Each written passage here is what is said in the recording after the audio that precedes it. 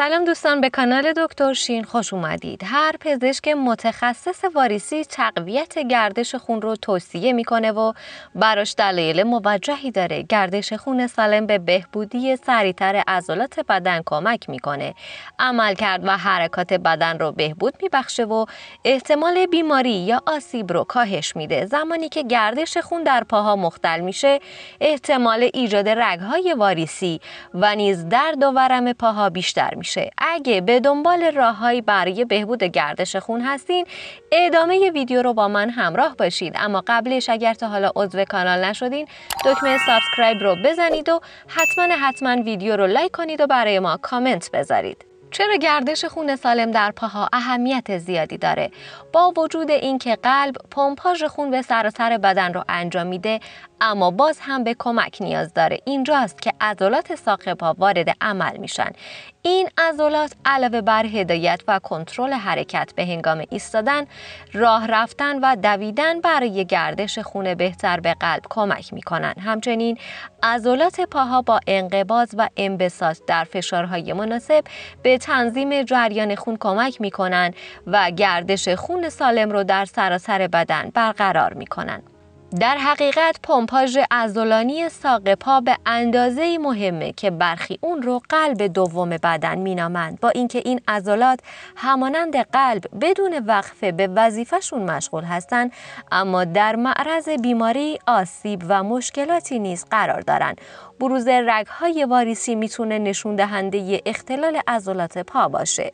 چه عواملی ممکنه باعث ایجاد اختلال گردش خون در پاهای شما بشه؟ عواملی که می‌تونه منجر به مختل شدن عمل کرد بشه عبارتند از سطح پایین فعالیت یا برنامه ورزشی ضعیف، چاقی یا وزن زیاد، سیگار کشیدن، زخم یا آسیب به ساق پا، کم تحرکی پا به مدت طولانی مثل راننده ها و کارمندان اداری.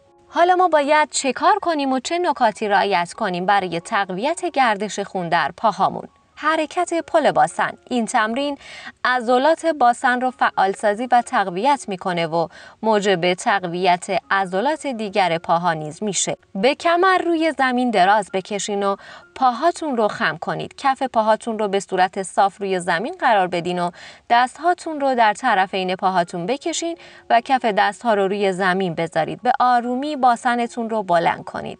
پنج ثانیه در این حالت بمونید و بعد به حالت اولیه برگردین. این حرکت رو ده بار تکرار کنید. بلند کردن پاشنه پا. بلند کردن پاشنه پا یک روش عالی برای تقویت و انعطاف پذیری تاندون آشیل و عضلات ساق پاست. این حرکت نه تنها به تقویت گردش خون و قوی کردن عضلات کمک می‌کنه بلکه باعث میشه پاهاتون در برابر آسیب مقاومت بیشتری داشته باشه. برای این حرکت صاف بایستید در حالی که جلوی پای شما روی زمینه به آرومی پاشنه هاتون رو از زمین بلند کنید. شما باید فشار عضلانی رو در این حالت احساس کنید. پنج ثانیه بمونید و به حالت اولیه برگردین. این حرکت رو ده بار تکرار کنید. گزینه سوم پیاده رویه. پیاده روی حرکت ساده و پیش پا افتاده ای به نظر می‌رسه ولی انجامش به طور منظم از مؤثرترین و مفیدترین ورزش ها محسوب میشه. برای بهره مند شدن از مزایای پیاده روی شما باید حداقل به مدت 20 دقیقه در روز بی وقفه پیاده روی کنید. برای نتیجه گیری بیشتر سعی کنید روی سربالایی ها پیاده روی کنید چون هرچه شیب بیشتر باشه فشار بیشتری به عضلات وارد میشه. تقویت گردش خون در پاها با بلند کردن اون. این حرکت موجب تقویت تمام عضلات پا میشه و همچنین در کوتاه مدت به بهبود جریان خون کمک می‌کنه. روی کمر دراز بکشید. دستهاتون رو کنار بدن قرار بدین و پاهاتون رو بکشین.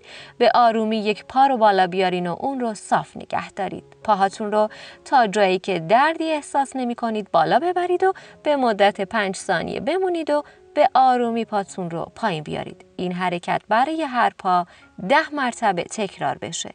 گزینه بعدی جوراب های فشرده است. جوراب های فشرده می‌تونه به بهبود جریان خون و کاهش تورم و درد در پاهای ما کمک بسیاری بکنه.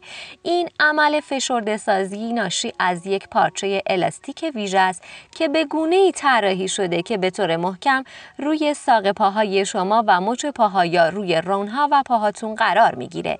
پزشک ممکنه پوشیدن جوراب های فشرده رو بعد از جراحی برای جلوگیری از لخته شدن خون توصیه کنه. اونها همچنین ممکنه جوراب های فشاری رو برای کمک به رگ های واریسی یا نارسایی های وریدی توصیه کنند. جوراب های فشرده می‌تونه با هم متفاوت باشه و از نظر نوع مواد، طرح زخامت و باندی با هم تفاوت داشته باشند. می‌رسیم به اینکه چه چیزی مصرف کنیم. تصور میشه بسیاری از گیاهان و ویتامین ها جریان خون رو افزایش میدن. قبل از مصرف هر گونه مکملی برای بهبود گردش خون حتما با پزشکتون صحبت کنید. برخی از مکمل ها ممکنه در صورت تداخل با برخی داروها اثرات منفی داشته باشند. شاه بلوط هندی برخی شواهد نشون میدن که اصاره شاه بلوط که به عنوان یک مکمل غذایی مصرف میشه به گردش خون در پاها بسیار کمک می‌کنه. یک مطالعه در سال 2015 نشون داد که شاه بلوط به اندازه پوشیدن جوراب های فشرده بر گردش خون در پاها مؤثره.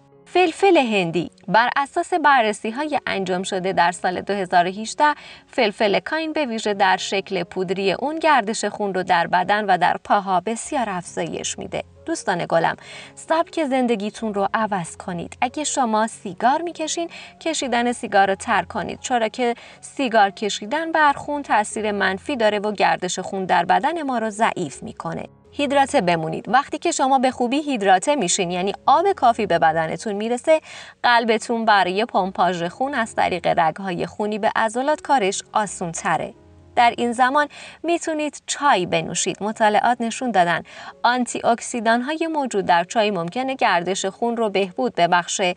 این مورد هم برای چای سیاه و هم چای سبز صادقه. چای اولانگ هم به دلیل نحوه فراوری شده اون خواص ویژه‌ای داره.